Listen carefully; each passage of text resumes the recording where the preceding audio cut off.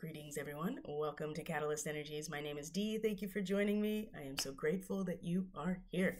Welcome back, everyone, and welcome to this full moon forecast. We're having a full moon in Taurus, as you can see on the screen in front of you, if in fact you are watching this video.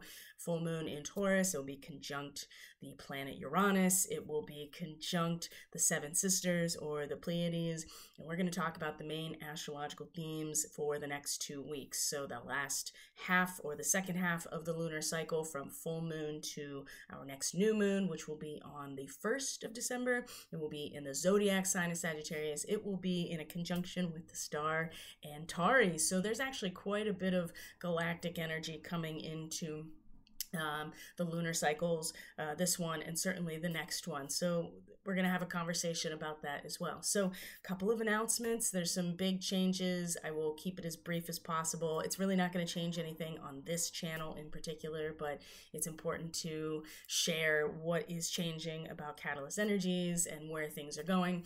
Uh, talk a little bit about the solar weather that is current and some of my thoughts and opinions about what may be happening dovetail into my conversation or message for the Pleiadian star seeds because that's really wrapped up in this full moon and, and, of course with Uranus sitting so close to the Pleiades and continues to do so because Uranus moves very slowly in relation to us there's there's just some aspects that I want to either remind us about. When I say us, it's because I have the Pleiadian uh, markings in my chart as well. Maybe give a little overview if you're new to this whole starseed thing, how I come to designate or read for these starseed positions and then we'll get into the astrology. So uh, let's just get right into it. So the announcements there's you know there's big change everywhere. That's uh, no secret. And for me personally and for catalyst energies it became clear. And there have been many times where i've wanted to either give up or stop doing this and I've always gotten the the pushback or the resistance from spirits, like no, keep going. Well, this is the first time uh, since I started Catalyst as this channel, right? Because Catalyst Energies has been a number of different things, and will continue to hold the space for my practice as it also uh, evolves and grows, right? So this is the first time in the in the last month or so where I've um, did not get that resistance, that pushback. It was spirits like, okay, it is time now to make changes. So um, one of the changes is that I'm discontinuing my subscriber content, so there'll no longer be a link to Subscribestar. Um, those folks have already been informed, so that's not anything new to them.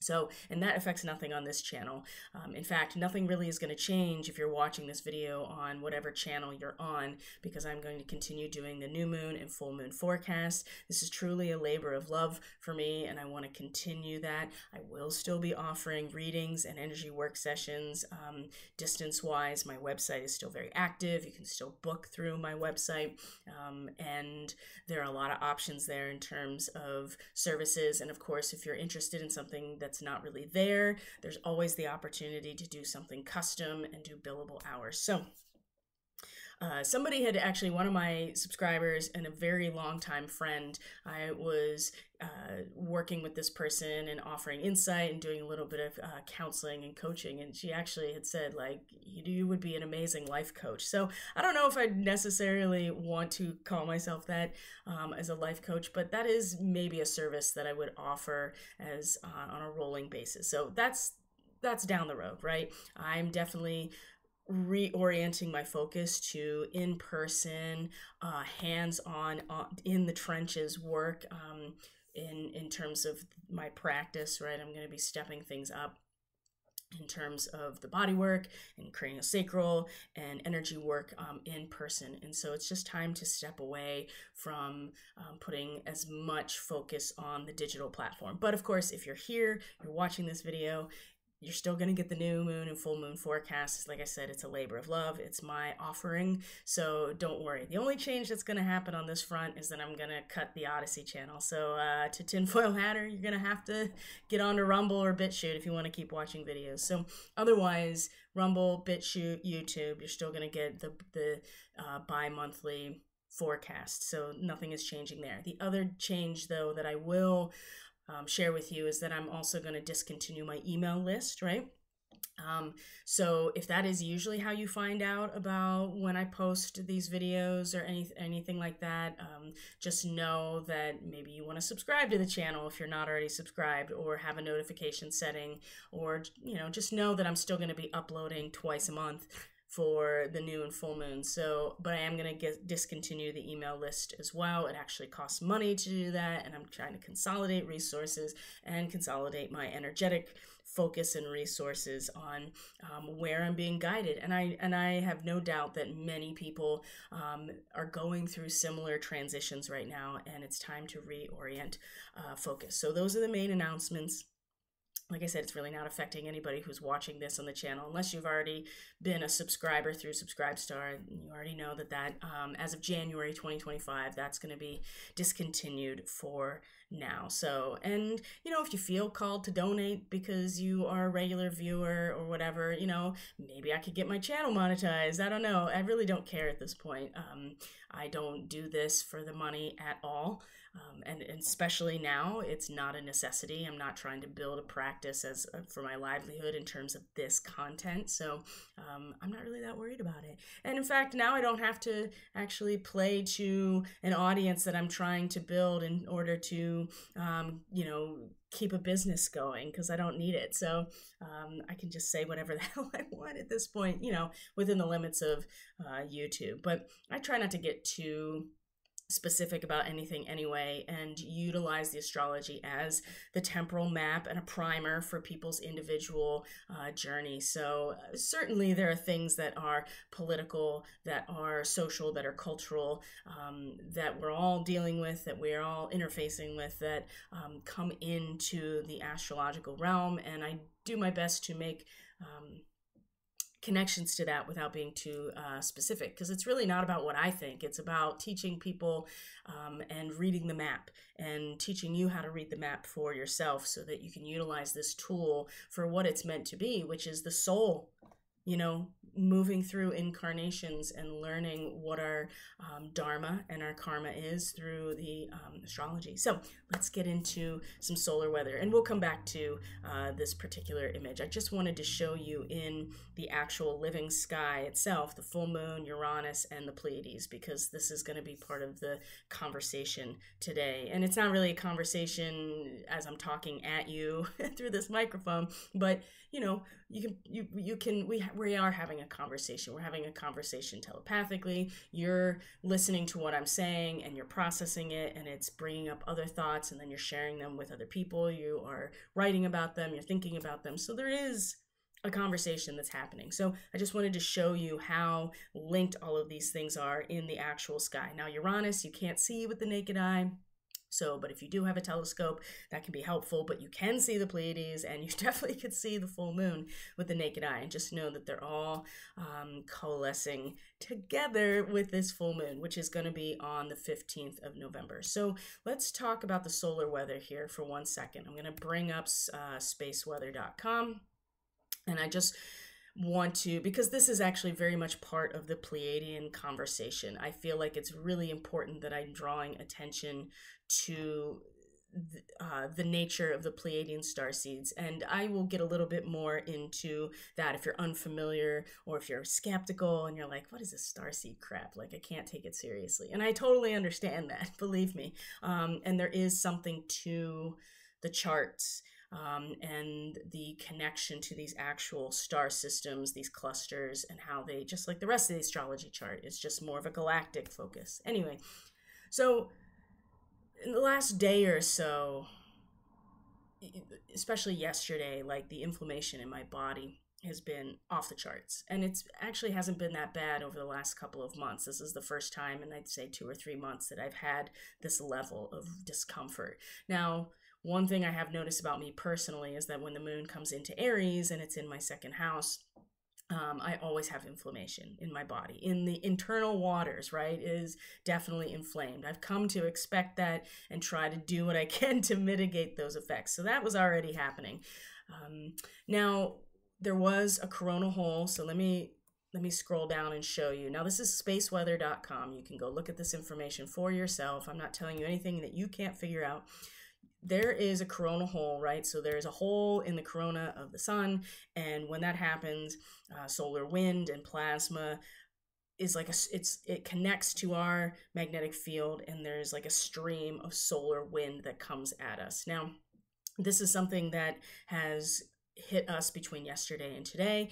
It has not caused a geomagnetic storm, as you can see when it says planetary K index, right? And many of you know this already, so just bear with me because it's important that we continue to not only remind ourselves and practice and repeat things, but other people may not understand this. And it's important that we do because all of this stuff still affects us down to the cellular, down to the electromagnetic level and this is where the real battle in my opinion this is the real battle right here um, is down at this level. And the more that we get kind of pulled into the things that are more on the surface and it's not to say that the political and social and cultural aspects aren't important but if we don't take into consideration these aspects of what's happening down to the electromagnetic level at the cellular level and how we're being impacted then none of that really is going to matter. So this coronal hole, you can see the big black spot, right? So we're getting hit with this solar wind.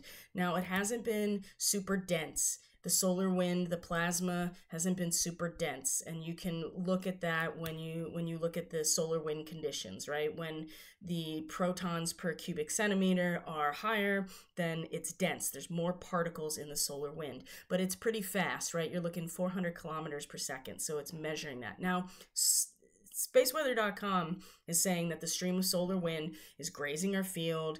It's now it says it's not fast moving, but it is affecting our planet. I would beg to differ. 400 kilometers per second seems pretty fast, but I mean, I guess it's been faster.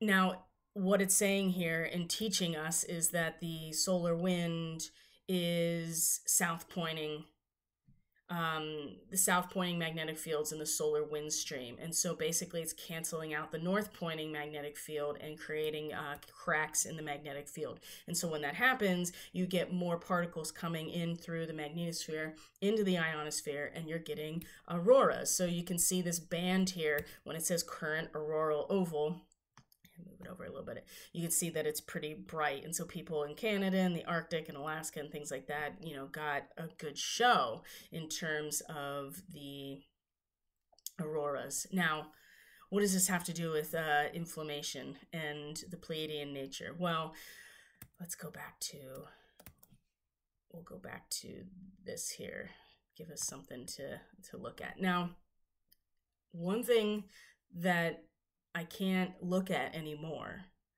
because the public data from Tomsk University in Russia is no longer available, which is the Schumann resonance. Okay, so if you, if anybody out there knows somebody who is registered with that site, um, because that's the only way you can look at it, it's not publicly available anymore. You have to be registered with that site in order to access their data. So if anybody knows somebody who has registered with that site and has um, uh, real time access to that listening station for the Schumann, please let me know because I really would like to keep tracking it, but I can't. But my money is on the fact that, so back up a little bit. So when you get these solar wind streams, it amplifies earthquake potential considerably, right? Because you're getting much more um, plasma and solar wind particles coming into the magnetosphere, into the ionosphere, bouncing all around. The electrical signals are going, it's got to go somewhere. It goes into the ground, it goes through um, the seismic uh, system, I guess, and earthquake potential goes up considerably when we have solar wind. Now, that in itself is not really, it can affect us, but the way that I felt yesterday was really really intense and i took all of my measures and and the reason i'm sharing this with you is because uh, just to give you an idea of like the types of things that you could do to mitigate these effects right? So um, tons of inflammation in my body like my joints especially the problematic joints were definitely like on fire but my whole body was systemically inflamed kind of out of nowhere my money is on a blast of the Schumann and not in a natural way, right? So you're talking about some sort of artificial intervention into the ionosphere that has an acronym that starts with an H um, and then uh, ends with a P.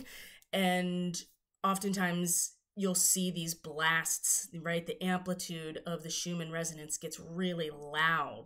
Um, and I'm thinking, in my opinion, based on how I felt, how I used to track it in the past, based on the fact that the solar wind was coming in, based on everything else that is happening, and maybe a um, perhaps a motive motivated maybe there are parties that are motivated to you know cause chaos in some way.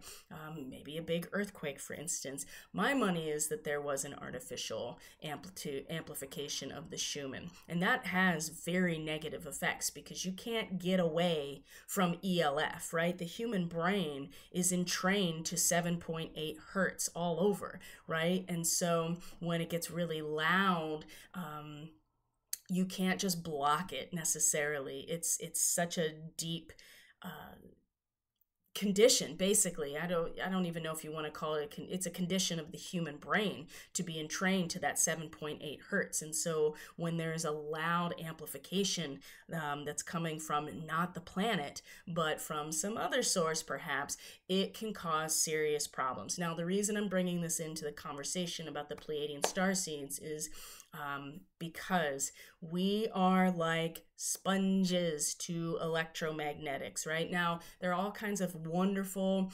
positive, beautiful aspects to being Pleiadian starseed. And I don't channel information. I don't pick up this information intuitively. I don't have people's guides talk to me about this stuff. I only look at it in the chart. So, if you've had a reading with me, and so you already know this, and um, if you haven't had a reading, but you want to confirm maybe that you have this, or you're, you're curious to see how this um, factors into your larger uh, personality and your soul work, you can always do the Starseed reading or the Galactic Oversoul reading.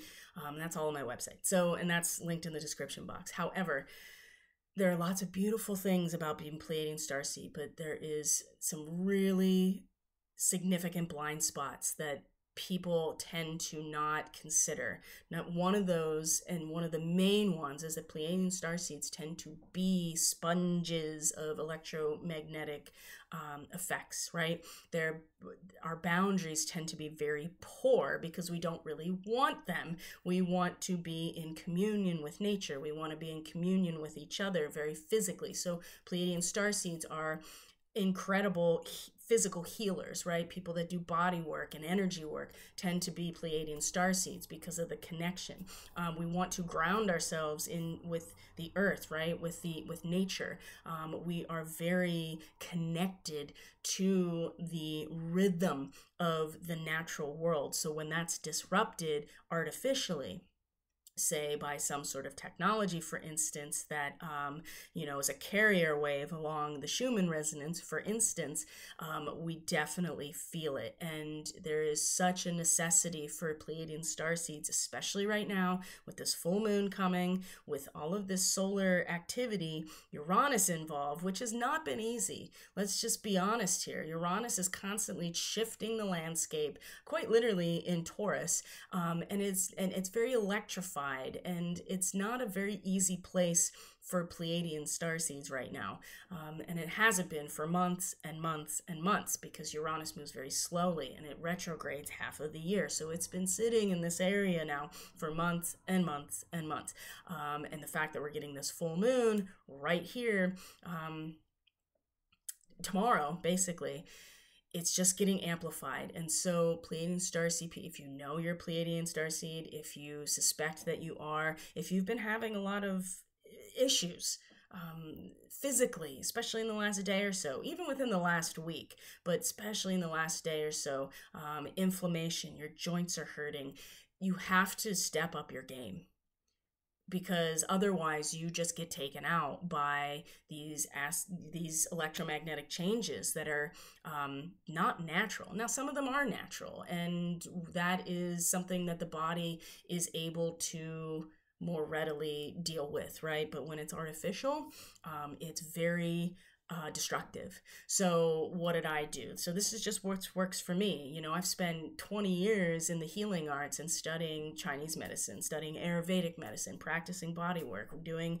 energy work. So, and cranial and the cranial sacral work is very electrical as well when you're working with the cerebral spinal fluid, right? It is the uh, fluid system for your nervous system. So, what did I do? Um, and I have my hands on people all day, every day, right? Some people have had certain medical interventions, some people haven't. And again, I have to step up my game as not only Pleiadian Starseed, but a person who is a healer or a healing facilitator, I should say because the body is self correcting. I'm not doing anything other than being present to help the body find its grounded state in order to heal itself, right? That's pretty much what Jesus was doing. Uh, now, what did I do? I got distracted. uh, number one, baking soda bath, making your body as alkaline as you can get it is really, really helpful, um, especially because it doesn't necessarily stop signal, but it slows it down in the body, electrical signal, because of the shift in the, um, when your body is more acidic, when your pH is lower, you have more hydrogen ions, positive ions. You want to get more negative. So the alkaline so baking soda bath, that's one thing. And I put some lavender and I put some frankincense to just help calm the chi, calm the nervous system, lessen the inflammation. So those are some things you can do. Um, second thing I did was that I doubled my turmeric CBD, right? Because turmeric is help with inflammation as well. The CBD helps with pain and inflammation. I did that as well. Tart cherry extract is really good for helping with inflammation. I did all of those things last night. Boom, boom, boom, and went right to bed. Um, and I felt a lot better this morning. Not 100% but much better. I was really, really struggling yesterday. And of course, the moon is moving out of my second house and and in, uh, moving out of Aries and moving into Taurus, and it's like, ah, it's such a relief. Um, the point I'm trying to make here is that you know you got to find what works for you. But if you are a Pleiadian star seed, especially with this full moon and Uranus involved, and and the motivation to continue to destroy people and to cause chaos, because it's definitely out there just you have to step up your game and so um, if you need resources if you don't know what to do um, like i said alkaline and i I've put them all up on my channel. All of the defense against the dark arts stuff about cymatics, about all the ways to deal with your biochemistry, the W ban, right? And the fact that that's a real issue it's all up on this channel so you can always go and listen to those things and get some ideas right but it's important that you know your own body okay i'm done with the preaching to the pleiadian star seeds but this is important because the boundaries are really they tend to be really not very good with Pleiadian star seeds. I'm just going to be honest. And um, that's because there is a, a, a, deep soul yearning to be in communion with uh, with nature. But when that when that's not always the safest thing, or if it's destructive or poisonous, that can be a problem. So Pleiadian star seeds also have food sensitivities like crazy. Um, so you know the whole seed oils, right? Cooking on Teflon, um, you know just your water being compromised, your food being compromised, you know, all of that stuff is going to be that much more impactful on Pleiadian starseed people. So you have to, knowing these things is more than just like, a star seed. It's actually like, okay, these are the types of things that I have to be aware of because they're blind spots. They're assets and there are challenges to all these star seed locations. So we'll talk more about Antares when we do the new moon because that's a whole different ball game. So, my friends, let's move on to the astrology, shall we? Um, and because that's why we are here. Now, there are, oh boy, oh boy, oh boy, my friends, there are some pretty big heavy hitters in this next two weeks. So I'm just going to name them off. Not so we start with our full moon conjunct Uranus, which means that the sun will be opposite Uranus. So that's the other thing. Just be prepared for unexpected, like outside of the box chain box changes. Um, especially when we talk about Scorpio and Taurus, we're talking about resources. We're talking about shared resources with Scorpio. We're talking about objective reality and shared reality when you're talking about Scorpio. So I'll go into the specifics about all of those things as we uh, as we go through the play by play. But so we have this full moon, we have Saturn stationing direct the very same day. Now, I've talked about this endlessly, um, and this retrograde of Saturn has been absolutely brutal. It has been unyielding. But what it has done is forced us to reshape the mold. And when Saturn stations direct and starts moving um, forward again, and it's not ever moving backwards, it's just an illusion based on perspective. When Saturn stations direct, we're going to start pouring the concrete or whatever into that new mold. So hopefully during this retrograde, you have taken it to heart here and re you know reshaped that mold whatever it is that infrastructure that scaffolding whatever it is with saturn because once it's direct it's going to be the place where that's going to solidify which is kind of interesting in Pisces because there is no solidification in Pisces, but there will be aspects of institutional framework that will be solidified in this sign of um, spirit and karma. So yeah, if if Pisces is karma, Virgo is your dharma, right? And those that's a different conversation, but it will be an important conversation as the nodes of the moon shift into those signs. We'll talk about that with the seasonal forecast that's coming with the solstice because that's also going to be the time period roughly roughly um, that the nodes are going to shift out of Aries and Libra into Pisces and Virgo. So in the north node, right, the trajectory of our soul um, that direction is going to be in Pisces, right? The karma. So, uh, so Saturn stations direct. Pluto is going to come into the sign of Aquarius, okay, um, during this next two weeks. So that's a big deal. And it's not the first time, but this is going to be a permanent placement now. It's not going to retrograde back into Capricorn again. I don't think so. I'm pretty sure it's not. I've said that before and I was wrong, but I'm pretty sure Pluto will not come back into Capricorn for the next 200 plus years, okay? So these big institutional destructive demolition, it's it's almost over. Pluto's coming into Aquarius. We talked about Saturn stationing direct on the full moon and Mercury is going to station retrograde in Sagittarius. And it's also going to be opposite Jupiter uh, before that happens. So we'll talk about these things um, as well. So there's, uh, there's a lot of shifting. There is a lot of um, transitions that are about to happen in this next, next two weeks. I will just say, just for the sake of uh, framing this all around a larger geopolitical landscape, President Trump's midheaven right on this full moon. I mean, Uranus is literally literally sitting on his midheaven. And I will say that he also has a 10th house natal Uranus, so uh, as well as the sun and the north node all in Gemini. So, if you think that you can pin anything down on this man, you are crazy, right? You obviously don't know astrology. Um and many people do. And they realize that there is no way to predict what he's doing with Uranus in the 10th house in Gemini. So,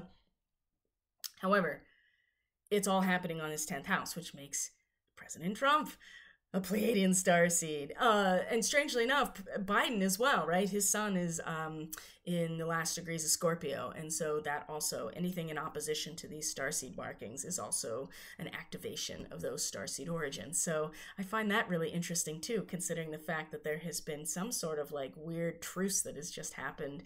Um, my personal opinion, I've been saying this for months now, is that uh, the Bidens totally cut a deal. They cut a deal a long time ago.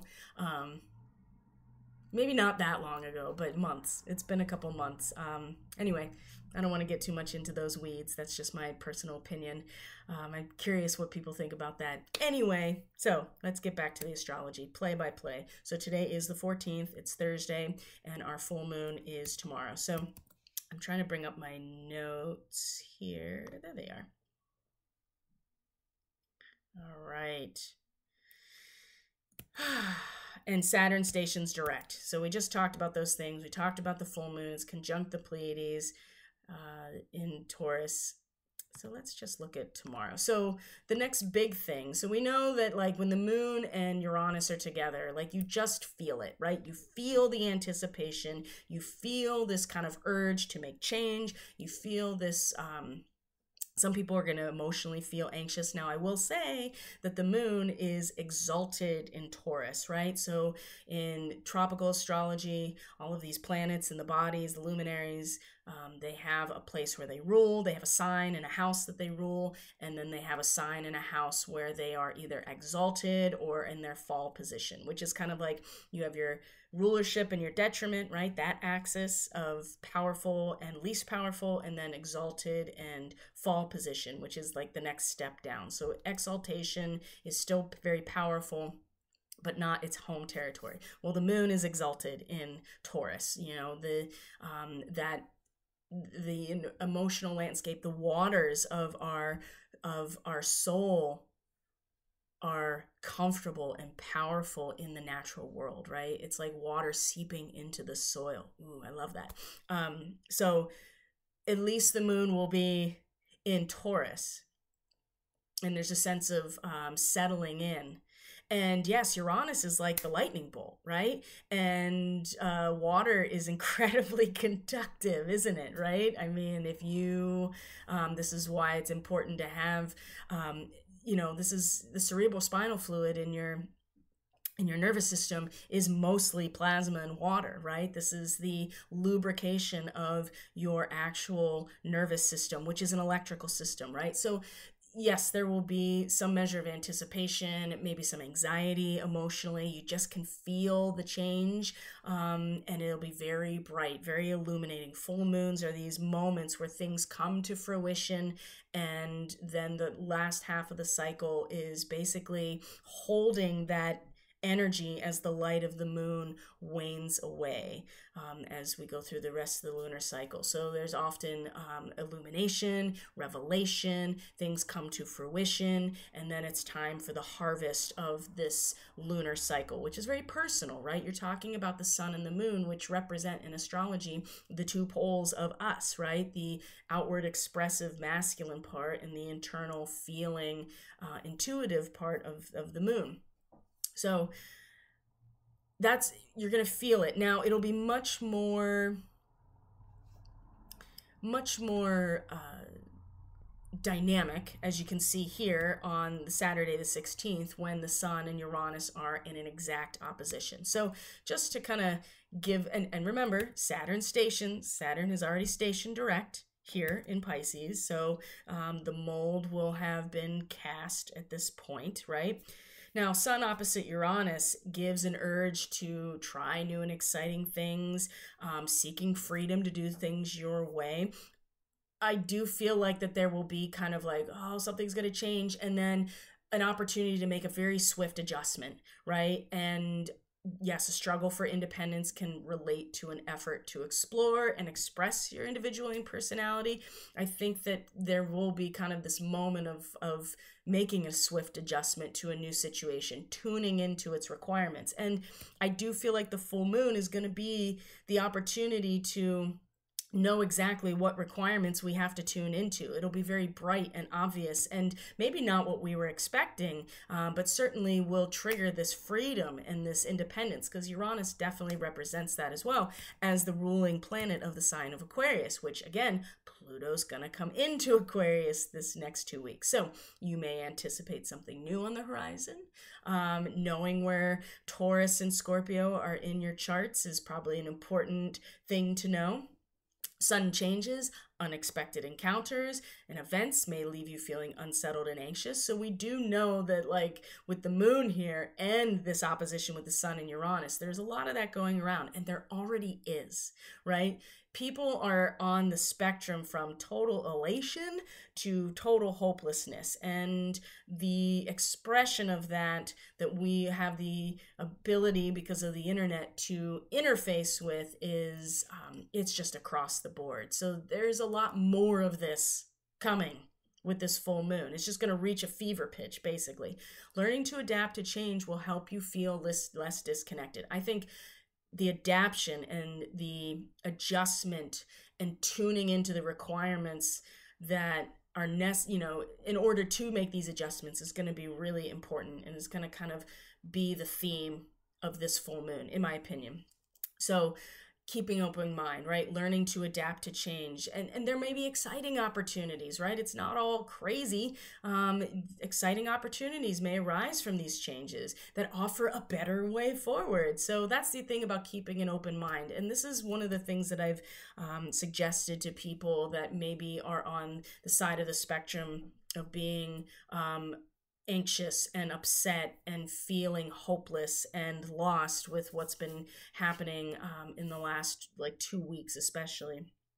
And certainly even longer but it's it's it's really concentrated right now which is you know learn to make the adjustment, right? See the opportunity in this situation, whether it's an opportunity to practice grounding yourself and not being completely taken over by the things that are happening outside of you. If there is a shift that is allowing you to see a new way that you never really thought that was possible before there's a lot of opportunity here and yeah it's you know people are going to feel more anxious and struggle um, and seeking freedom but there could be some really exciting opportunities. And when we're talking, again, Taurus and Scorpio is about resource, right? Objective, inherent resource of Taurus, you know, what is, and shared resource, which is Scorpio. What can we do together? And remember what the new moon was in Scorpio the fellowship supper, right? The comrades coming together and and and coming together with a shared experience right that's where we started here and yes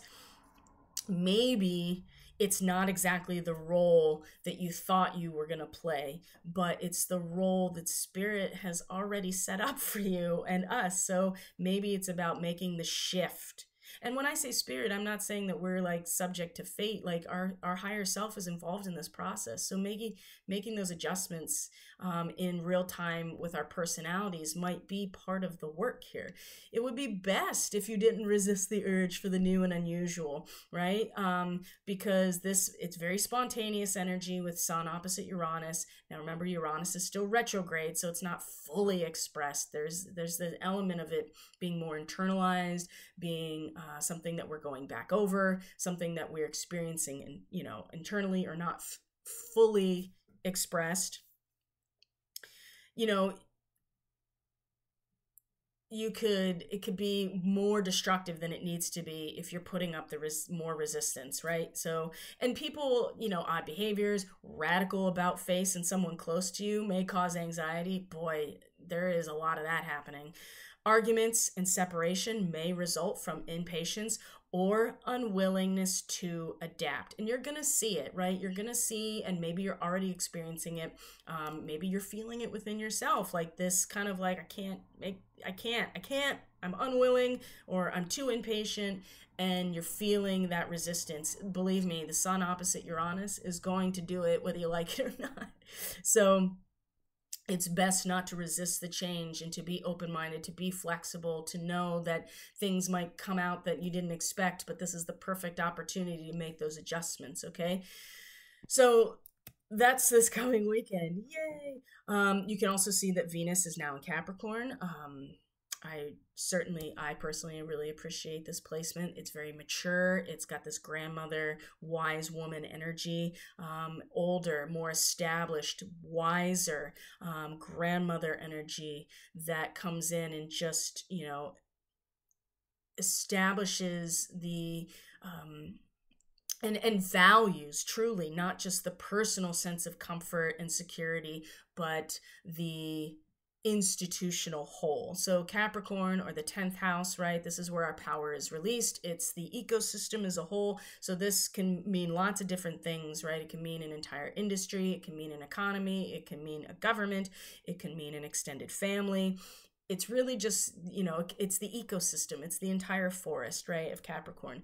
Venus here as the divine feminine in this area is mature um, and very grounded i think and very business oriented so the fact that there's this T square with the nodes of the moon, right, which is the soul's trajectory, where we're coming out of, where we're going, um, I think this is a really interesting, interesting timing, especially because uh, she in particular is really bringing our attention back to um, a need to really account for everything before we cross a threshold. Now, a North Node or, or Rahu the ascending node in Aries, and it's been this way for like, you know, the last year plus, you know, is really pulling us in the direction of our own subjective experience, you know, of our own sovereignty, of freedom as an individual soul and being, right? And these are all important things. And I personally have been really uh, embracing this over the last year because um, this is the trajectory at a soul level. We're being pulled in this direction and there's nothing necessarily wrong with that. It's just this t square is going to bring up the necessity of you know it's not just about us all the time and that does eventually lead back up to the top of the chart the the zenith of capricorn right? The release of our power the divine matrix in and of itself and there are there's a necessity here. There is a need to really tap in in our feels and in our senses and in our relationships to um, making sure that everything is accounted for before we move forward. Okay. Um, and there's there's nothing wrong with that. And of course, whenever you have a T square, you want to look at the ghost point that's not there but fills in like the full square, the grand square, which is down in Cancer, right? Uh, six degrees Cancer is, you know, birds feathering the nest, right? So there's a need to put our personal energy into creating the space in which something new can grow, right? And yes, at soul level, we're like, yes, I'm ready to, I'm ready to, you know, really be stable in my personhood, right? In my sovereignty and in my individuality. So, but there are other aspects here that are um, really drawing our attention which is kind of interesting with the sun opposite Uranus because it's going to be like, whoa, there's some like swift changes. And Venus and Capricorn is going to be like, okay, take a deep breath, put your feet on the ground, make sure that everything is accounted for before you cross the threshold, right? Don't go freaking out. Um, you know just because you feel the winds of change right? There's there's a need to not like destroy that which is valuable and that's relationships that's resources that's projects all of those things that lead to a healthy ecosystem in you know whatever whatever system you're talking about in your own personal life okay? So that's the weekend right? So it's going to be pretty it's going to be pretty outrageous and there's going to be a lot of unexpected things and anxiety and people just like ah and excitement. And then the venus in capricorn in this t square is going to be like just slow your roll lean into where it's uncomfortable realize the only way out is through but sometimes you got to take a you got to take a pause before you cross that threshold okay you don't want to destroy things that matter to you before you move forward, okay? And some people are, and they will have to live with the karma of those decisions, just like we have to do that with everything, right?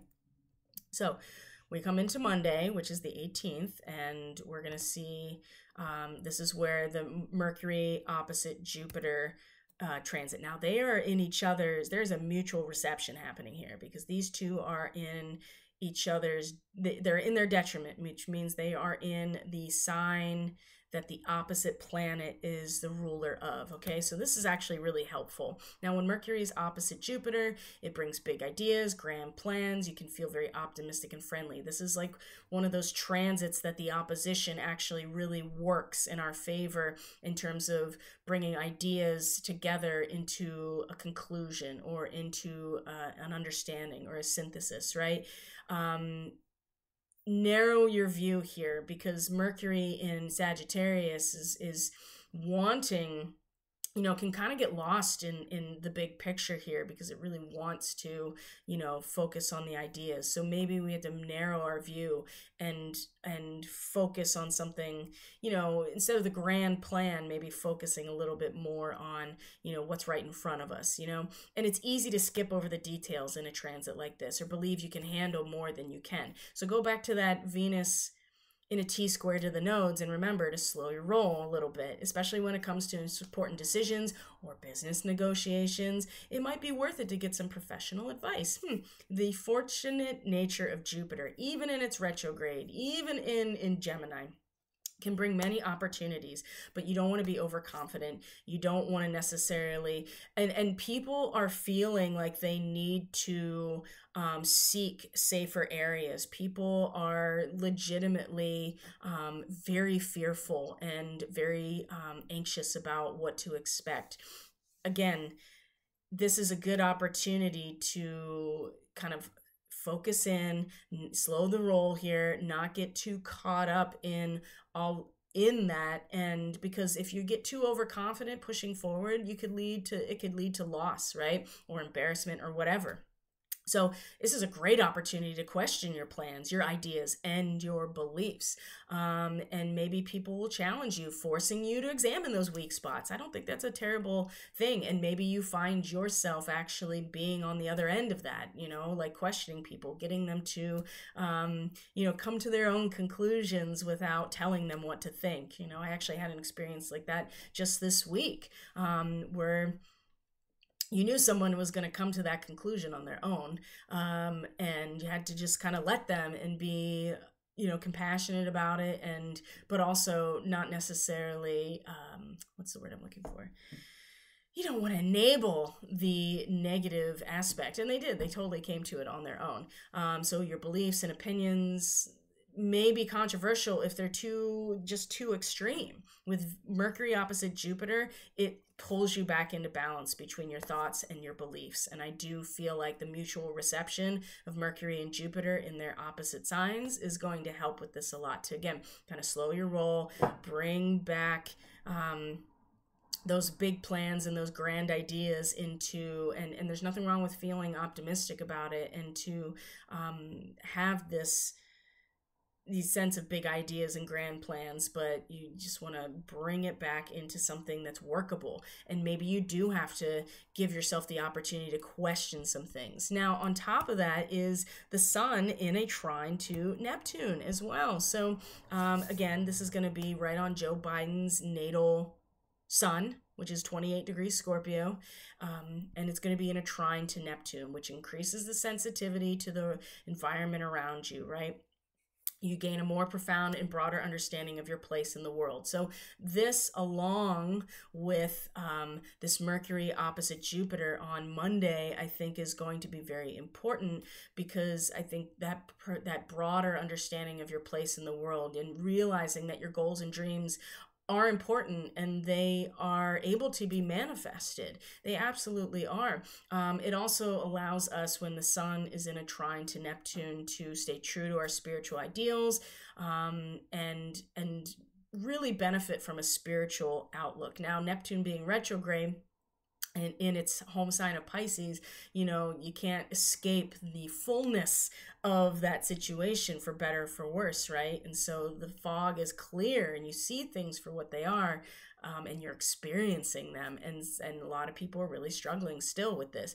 So your path to success can be helped by uplifting self belief um, and even intuitive impressions with the sun, especially in water signs like this. And, you know, and again, star seed markings 26, 27, 28 degrees. So this is very galactic too. That's going to bring people into um, much more profound understanding of our place in the world, right? And increasing the sensitivity to the environment and empathy for other people, right? So you may find yourself becoming more empathic and empathetic towards people who are still struggling right now.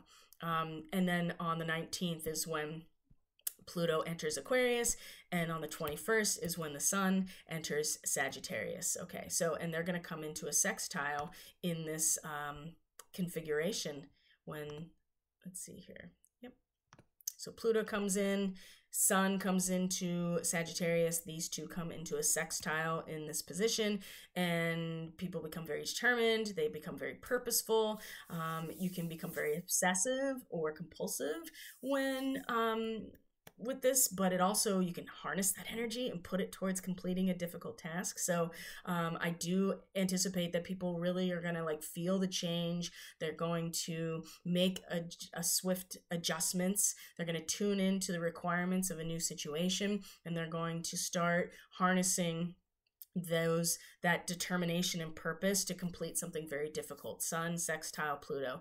And especially anything that is broken do- down or is no longer helpful in your life right? A bad habit a messy room whatever.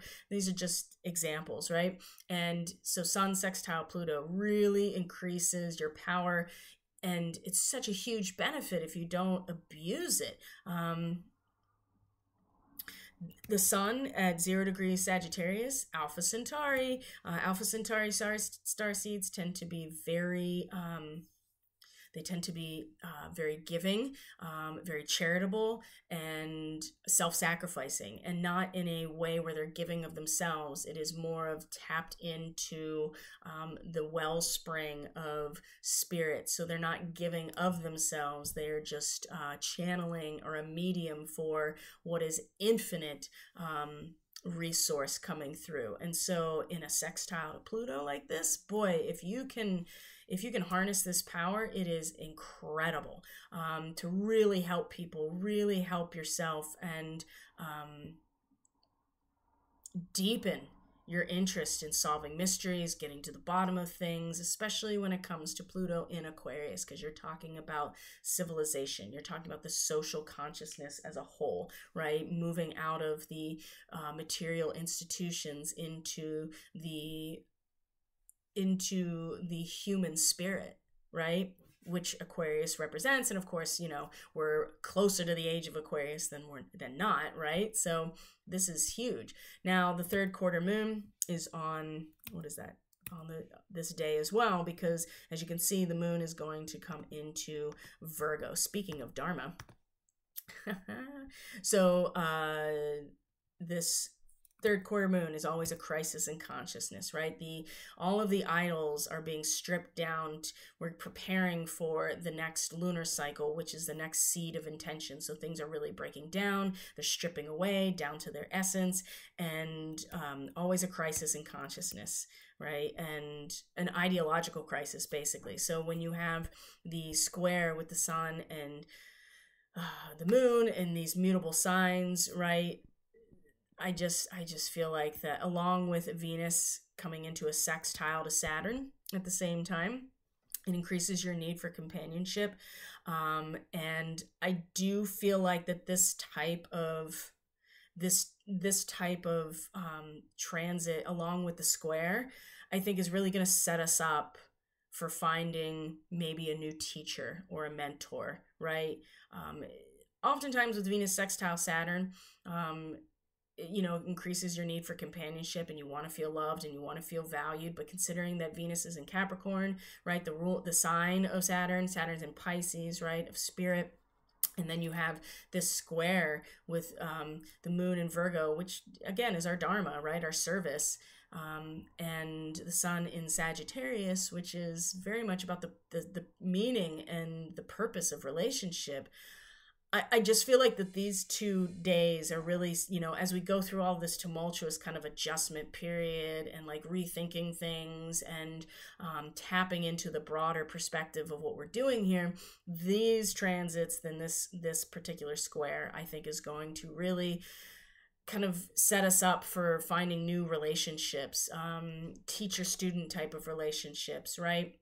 Long term commitments of any type, right? Practical, common sense types of things, um, especially applying to recent difficulties. Resolutions can be found, and there can be mutual understanding. This is Venus sextile Saturn, right? Doing business is favored, right?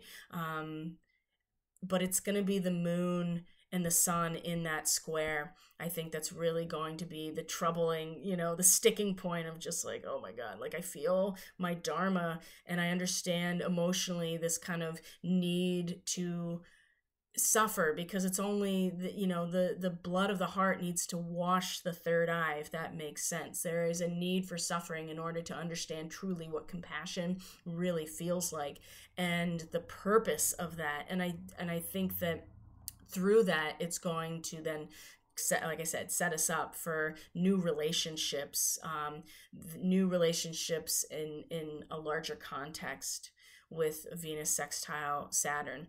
Now, the 25th is when Mercury stations retrograde. I do think that we're going to see Okay, so 23 degrees Sagittarius is about immigrants coming into um, a country and they fulfill the requirements of entrance into the new country. So the idea here is that we are maintaining our integrity, but also consciously accepting the new ways. Now, this is where Mercury is going to station retrograde. Okay. So it's already at its detriment in Sagittarius, but at least coming into the retrograde, it's going to kind of, you know, give us an opportunity to reassess what those requirements are, how we can maintain our personal integrity as we accept the new way, consciously accept the new ways of, of the territory that we're coming into, that we're making a choice to come into. So we have some time now with this retrograde to figure, you know, to reassess what those things are and to maybe do some inner work about how do I maintain my integrity on the inside while also um, making changes to coincide with the new territory that I'm going in. So this is going to, you know, Mercury retrogrades last about three weeks. So there'll be some time to uh, figure that out. And you know, the big one leading up to the new moon. So now we're getting into the weekend before Thanksgiving, right? So here in the US and the you can see here that Mars is coming into aspect with the nodes of the moon. It's coming very close to a stationing retrograde, right? So that means that it will come into aspect with the nodes again. It will come into opposition again um, with with Pluto, actually two more times. So be ready for that. But before any of that happens, the Sun and Mars will come into a trine. And in fact, that is going to create a kite with the nodes of the moon. So kites um, are awesome. I love kites in astrology because the tension of the opposition is a necessity for the kite to fly. And then everything else around it is, as you can see, blue, which means it's beneficial, it's harmonious, it's foundational. Um, it is transformational as well, but there's not tension and friction that creates that. There's actual harmony here. Um, and the kite flies. It needs the opposition of the soul uh, trajectory in this case because you're talking about the nodes of the moon. So I um the the Mars trine the sun is the big one that I'm seeing here. And uh, I actually, here, I want to, whoops, I want to look up. And you can do this too, right? You just type in, just to open, move tab to new window. You just type in Sun, Trine, Mars, Transit into your search engine, and you can find whatever you want here. Um, this is also my birthday, by the way. I'm pretty excited about this, actually. Uh, the 27th is when it's exact, so let's go forward to there so you can see it. Oh, there we go. There we go. So Sun, Trine, Mars, it is a kite as well. They don't have it on here like the opposition with the nodes is not drawn on this chart, but it's there. So Sun, Trine, Mars transit, it boosts your self-confidence, your enthusiasm. This is a great time to start new projects. You feel strong, courageous. This is coming from astrologyking.com, by the way. Use your initiative to get the ball rolling, tackle demanding tasks. This is going to be really important uh, because Mars is about to station retrograde here. Um, you can understand what motivates you now due to a conscious awareness of your primal desires, right? So everything leading up to this point feels like an opportunity to really understand your our own motivations about what we're doing and why we're doing it, and possibly, you know, considering what might be underlying intrusions about our motivations that go into, um, you know, ways of control. Uh, that's something to consider as well. But this this is a great transit. You're very confident. Um, you can really get stuff done. You have a strong urge to take action under this transit. And of course, Mars and Leo is very much, we're projecting the self through our expression. And the sun in Sagittarius, especially six degrees Sagittarius, this is about group skills. This is about kind of you're taking your own personal expression and putting it towards you know the the group activity right? The the game that we're playing right? It's uh pretty amazing. And you can see that it's all wrapped up too in the nodes of of the moon and this kite. And so yeah there's a tension between where we've been and where we're going right? The the dragon of our soul's trajectory right now. But without that tension this kite can't fly. And again knowing where leo is knowing where sagittarius is knowing what else is going on in your chart is very important here and of course you know venus is going to square chiron And there are things happening in the background that I think are important to consider with this square. And it's just going to bring up like, am I doing enough? Am I helping enough people? Do I have what it takes to really offer people what they need? And sometimes um, just being part of uh, the choir in the background is truly enough to bring the congregation to a point of communion right? And um, i think that that's gonna you know it's gonna bring that up too with the square with Chiron. But I love this kite. I really do. I think this is great, um, especially moving into uh, the next lunar cycle, which is the sun and the moon conjunct in Sagittarius, conjunct Antares. So we'll talk all about that um, on the next uh, forecast. So, my friends, I'm going to leave it there for today. Time to move on to other things. Pleiadian star seeds, you better be taking care of yourself because, um, I mean, we're all affected, but this full moon, it's going to be and uh, it's going to be very it's very palpable already.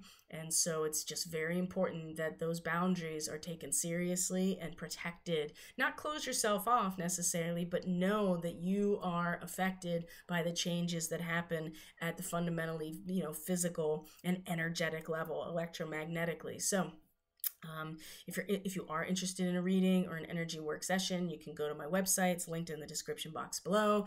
Um, and stay tuned for the new moon forecast. That's all I got for you guys today. Thank you so much for being here. I really appreciate all of you so very much. It's been a wonderful journey. I'm glad that it's continuing going on a different pathway now. And I look forward to your comments and sharing, subscribing, liking this video. You know the drill. Um, and I'll see you next time. Ciao for now. Take care, everyone. Have a great Thanksgiving. I won't see you until then. So um, I hope it is. I hope it is full of thanksgiving and gratitude for the blessings that we all have. So take care, everyone. Bye.